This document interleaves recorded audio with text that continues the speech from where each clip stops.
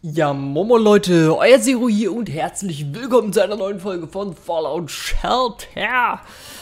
Es geht weiter in eine neue, wunderschöne Woche hier bei uns und Baxi hat eine Waffe hergestellt. Es wurde Baxi, ja Baxi, du bekommst das Plasmagewehr. So, dann haben wir hier... Was machst du da schon wieder? Äh, der... Äh, ich hab dich doch da rausgeschickt. So, Shop Green hat jetzt eine Ausdauer von 6. So. Äh, wollen wir mal gucken. Äh, in die Sporthalle. So. Äh, sie wollte auf 6, alles klar. Und Mrs. Handy, so viel verwechsel ich dich ja nicht, oder? Wo, wo habe ich dich verwechselt? Habe ich dich am Samstag nochmal verwechselt? Ich weiß es nicht. Keine Ahnung. Und wegen Lero müssen wir gucken. Ich werde jetzt diese Woche mal schauen, ähm, ob er finanziell was dazu bekommt, außer diese 2%. Und wenn es nicht der Fall ist, dann werde ich all seine Sachen in den Shop packen. Damit alles nochmal neu gekauft werden kann. So. Basco würde mit Shop Brooks gerne A auf 5 machen, sagt er. Wo ist er denn? Wer, wer ist hier eigentlich noch? Der Hosenkobold. Der hat jetzt E auf 4. Jetzt habe ich ihn abgezogen, ne? Da Hosenkobold. Ja, nice, habe ich gemacht. Und jetzt kannst du wieder zurückkehren. So, die 02 trainiert noch fleißig vor sich hin. Pasco ist fertig. Nee, gar nicht. Das, ah, so, ah. So, Pasco. Du hast, müsstest ja vier haben jetzt A, ne? Ja. So. Wo ist er denn? Äh, auf 4 trainieren, alles klar. Wieso habe ich Pasco 900 abgezogen? Achso, weil er wahrscheinlich sein E noch trainiert hat. Aber habe ich, hab ich ihm die 1000 auch abgezogen? Ja. Ich muss mal hier alles wieder klären, damit das alles irgendwie ein bisschen ersichtlicher für mich ist. So. Wir müssen dann bis der Handy wieder verschieben. Ich hasse es. Wo habe ich dich jetzt hingeschickt? Ich weiß nicht. Bleib hier. Geh doch nicht weg. So, wir haben jetzt hier eine Riesenreihe an Leuten, die irgendwie rein wollen. Und wir haben Julian, der tot ist. Direkt mal einen Teddy mitgebracht. Hauptsache du machst noch Plus. War das deine Waffe vorher? Ich weiß es nicht. Das muss ich mal gucken, ansonsten hast du eventuell eine neue Waffe. Oder dann sag mir am besten selber Bescheid, ob das deine Waffe ist. So, der Löwe, komm zurück. Äh, Bruder, komm zurück. Du bist schon zurück. Joshua, Kara, Vault Explorer, Vault Explorer, Vault Explorer und zurück in the Vault. Alles klar. Dann schicken wir sie mal rein. Aber bevor ich das mache, bevor ich sie reinschicke, erstmal kurz aufräumen. äh, Volt Promi. Den lassen wir ja noch drin. Wir haben zu viele Sachen, Leute. Wir haben zu viele Sachen. So. Ich wollte hier reingucken. Verwerte 8 Waffen oder Outfits. Ich habe gerade eine Waffe verwertet. Ich habe gerade eine Waffe verwertet. Aber 100 Pro. Okay, kein Problem. Wir nehmen hier den Vault Explorer. Und wir sammeln alles ein, außer das Garn. Äh, ein Bramileder packe ich mal in den Shop und dieses rostige Gleisgewehr. Wieso trägst du das eigentlich nicht? Weil du eine verbesserte Kampfflinte gefunden hast. Nice. Also, rostiges Gleisgewehr kann man nun kaufen. Ja, sammeln wir mal ein. Und dann... Nix. Verwehr... Achso, verwehrte! Oh, stimmt.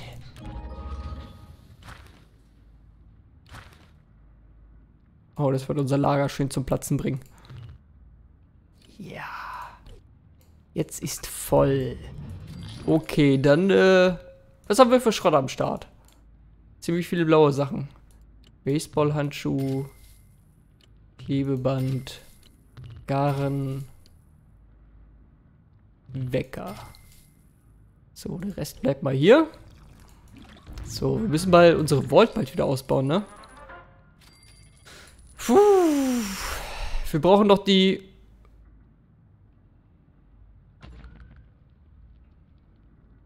Warte kurz eine Sekunde. 60 Bewohner, alles klar. Ich, wieso kam ich gerade auf 100? 100 war nur Coca-Cola-Abfüller. Wir brauchen noch die 60 Bewohner. Das sind noch vier Bewohner, die wir benötigen. Oh, Junge. So, äh, das lassen wir mal kurz. Ich muss hier weiter verwerten. Ja, ein Spielzeugauto. Uh, ist das toll. Das verwerte ich jetzt mal nicht. Oh, nichts. Alles wieder verwerten. Wow. Das, das hat uns sehr weit vorangebracht. Ein Baseballhandschuh, nice. Ein Strahlenschutz kriegen wir eine Lupe. Eine Lupe? Und die Räderrüstung, so. Ja, die Ausbeute ist echt mager, ne? So, reicht das nicht allmählich? Das reicht. Oh. Bringe 8. Nö. Sammle 170 Nahrungen unter einer Minute. Das können wir machen, wenn wir die Quest gefunden haben. Apropos Quest. Ich hoffe, es bleibt noch eine Weile. Die müssen wir auf jeden Fall jetzt zurückschicken. So, normale Gegenstände verkaufen. Ihr bekommt erstmal 5480 durch 2. Dann ein Teddy und eine Schaufel. So, mal gucken, ob die sich das schon eingeteilt haben. Ein verbesserte Institutpistole. Nice. Ein bisschen was zum Sammeln. Werden wir das eines Tages zusammenkriegen? Man weiß es nicht. So, jetzt gucken wir mal nach. Aber erstmal schicken wir euch wieder zurück in den Raum. So. Wird die Quest noch da sein? Am Ende des Regenbogens eine Lunchbox, Leute. Eine Lunchbox. Wer möchte auf diese Quest? Wenn sich keiner finden lässt, werde ich übrigens die Vault-Bewohner nehmen und alles, was da gefunden wird, dann quasi versteigern, also beziehungsweise verlosen. Das heißt, ihr habt jetzt bis äh, morgen Zeit, 24 Stunden, ja gut, eigentlich, eigentlich sind es. Eigentlich sind es weniger. Ich will, ich will ja heute Abend wieder aufnehmen. Das heißt, ihr habt bis um 20 Uhr Zeit. Dann nehme ich wieder auf. Heute am Montag. 20 Uhr nehme ich auf. Da solltet ihr euch entscheiden, wer auf diese Quest möchte. Alle, die natürlich schon waren. Es tut mir leid, ihr wart schon. das äh, passiert halt. So, wir haben's. Uh, Friseur. Zack! Okay. Deadline.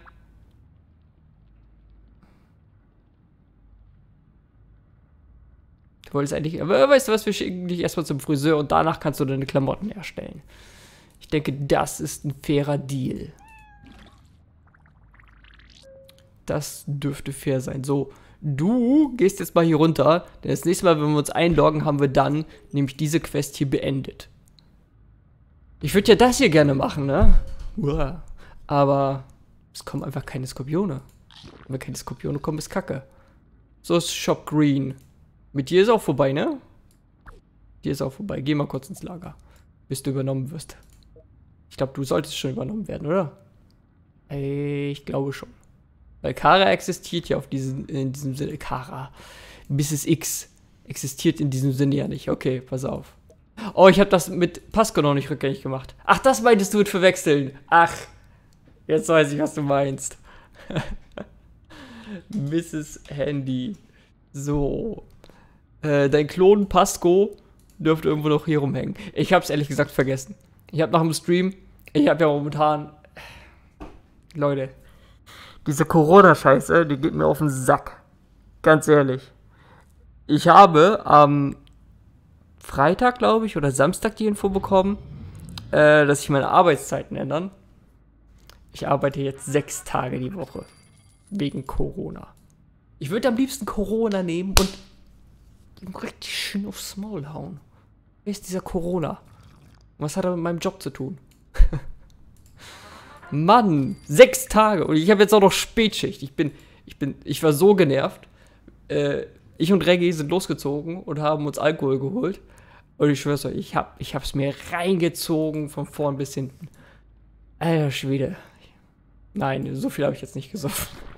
Das war auch nur so, so Mixgetränke, weißt du, sowas zum, zum Entspannen. Da habe ich abends halt was getrunken. Es, es, ist, es ist nervig. Ich habe da keinen Bock drauf. Ich muss diesen Samstag arbeiten, Leute. Ich muss diesen Sa Ich muss diesen Samstag arbeiten. Ich bin genervt deswegen. Naja. Gut, hoffen wir mal, dass sich äh, an Fallout Shelter so nichts ändert. So, ihr könnt jetzt übrigens äh, euer Gesicht ändern. Hier gibt es einige Bärte. Anderes Zeug. oh. Was gibt's denn noch alles? Wo sind die, wo sind die Ohren?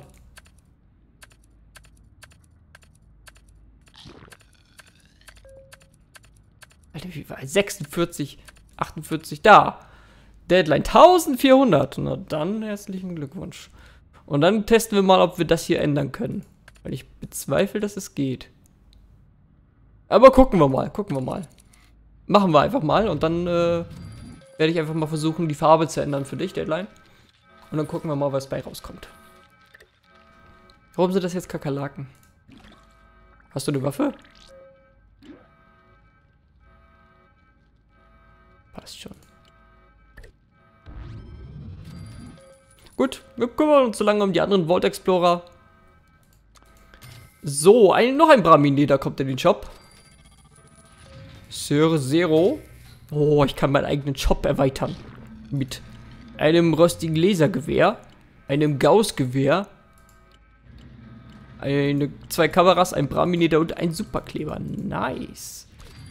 Und ein Redaway bringe ich auch noch ein. So, der Volt Explorer bringt nichts mit. Hast du wenigstens eine ordentlich Waffe gesammelt? Naja, gut.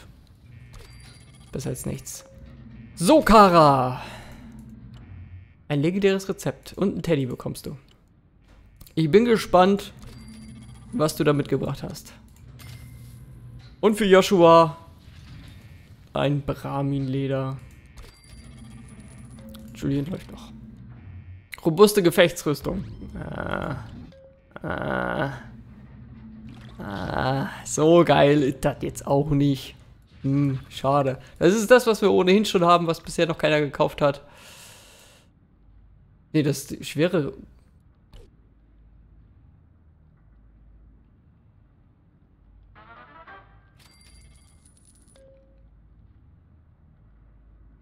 Was war jetzt das Goldene, was wir mitgebracht haben? Ich weiß es nicht. Das ist ja, äh, merkwürdig, würde ich sagen. So, Vault Explorer. Wo stellen wir euch hin? Was, was machen wir mit euch? Irgendwo müsst ihr hin. Aber ich will nicht so weit unten machen. Das heißt, ich muss... Ich packe euch erstmal da oben hin. Äh, dann überlege ich mir was Neues, wo ihr quasi rumsitzen könnt.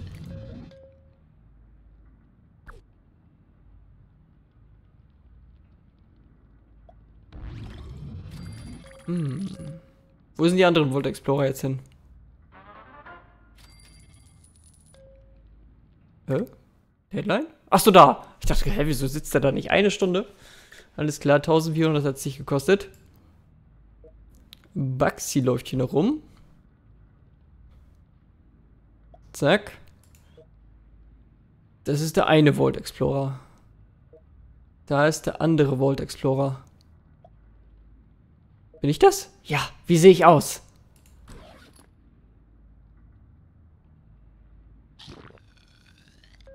Das soll grau sein? Ich sehe jetzt ziemlich menschlich aus.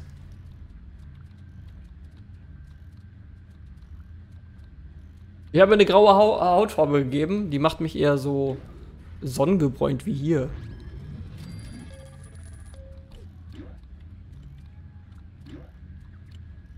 Weiß nicht, also. Hä, wie, wie? Wo sind meine Klamotten denn da? Das ist jetzt nicht der Burner. Sagen wir, das ist E3-Rüstung. Ich bin jetzt nicht mit der E3-Rüstung ausgegangen, ne? Nein. Alles klar. Ja, gut. Äh, enttäuschend. Ich habe es mir ein bisschen krasser vorgestellt. Vielleicht investiere ich nochmal 50 Kronkorken für eine etwas dunklere Farbe. Hoffentlich wird es dann eher dementsprechend, was ich äh, im Kopf hatte. Ah, da ist der andere Volt Explorer. So, ihr seid jetzt zu dritt. Okay. Ähm. Soll ich euch jetzt schon irgendwo hinschicken? i5 braucht ihr dafür. Ah. Ach, ich weiß, wo ihr hin solltet. Ihr solltet trainieren. Ganz wichtig. Gerade für solche Aufträge. Und ihr habt schicke Anzüge an. Hm. Das verleitet mich nahezu hierhin. Zwei Bewohner. Ich habe zwei Bewohner. Stufe 15. Hm. Aber ich glaube, jemand möchte das hier gerade bauen. Äh, dementsprechend gucke ich einmal kurz in die Werkstatt. Äh, hm?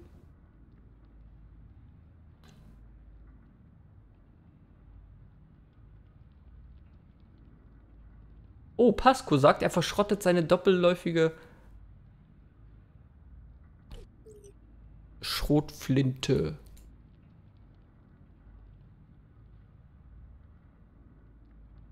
Das ist ein Repetiergewehr. Wo ist sie denn?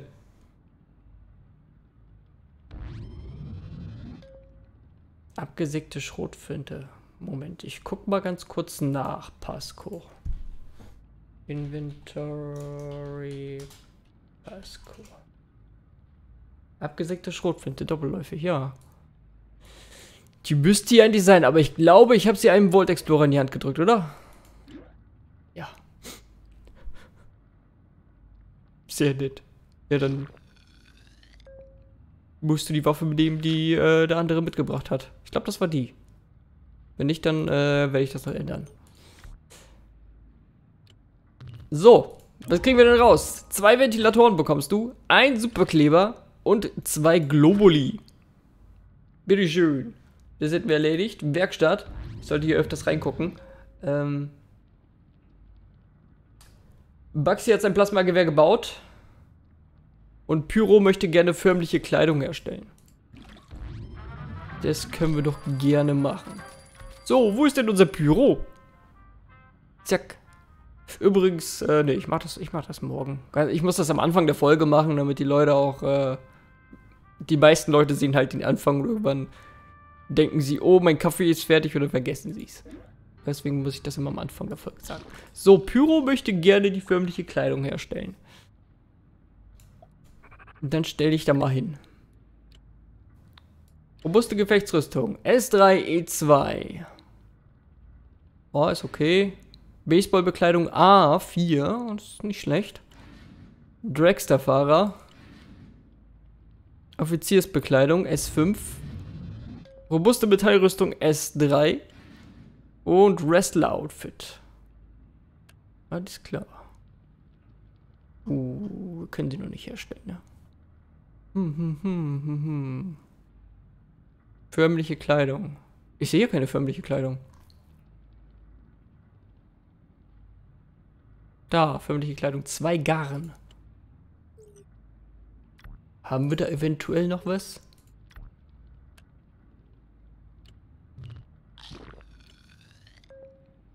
Äh.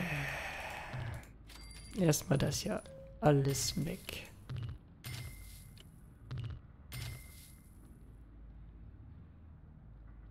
Äh, was habe ich mit dem Spiel? Ach da. Oh, die brauche ich ganz wichtig. Für Deadline. die dürfen nicht weg. Alles klar. Komm. Glücksspiel. Gib mir Garen. Garen. Ich möchte Garen. Komm. Eins, ja, nice. Und eins. Nice. Mehr wollte ich nicht. Dann stellen wir mal deine förmliche Kleidung her. Kostet fünf. Ist jetzt nicht die Welt. und zwei Garn. Seht ihr, was ich meine? Es ist, es ist ja fix gemacht. Ne? Soll er seine förmliche Kleidung bekommen und dann kann er höchstwahrscheinlich auf der Quest. Gut. Gut, gut. Habe ich noch irgendwas? Ich, ich, ich, ich habe bestimmt irgendwas vergessen. Wenn, wenn das alles hier nicht aufgeräumt ist, am, am, Wochenende räume ich nie auf. Ich räume immer unter der Woche auf, wenn ich zu, auf dem Weg zur Arbeit bin. Und deswegen habe ich am Anfang der Woche immer recht wenig Übersicht.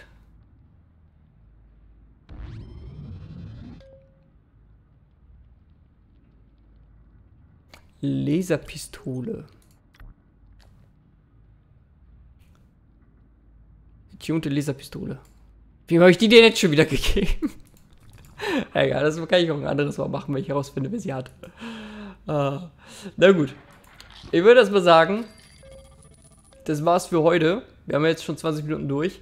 Wir sehen uns morgen wieder zu einer neuen Folge und dann schauen wir mal, dass ich äh, das alles aufgeräumt bekomme und alles, was fehlt, auf jeden Fall noch mache. Da kann ich doch einmal ganz kurz in meine Notizen gucken, ob da alles in Ordnung ist. Alles in Ordnung. Wegen Mr. X müssen wir halt gucken. Leute, wir sehen uns in der nächsten Folge wieder am Dienstag. Haut rein, euer Zero. Tschüss.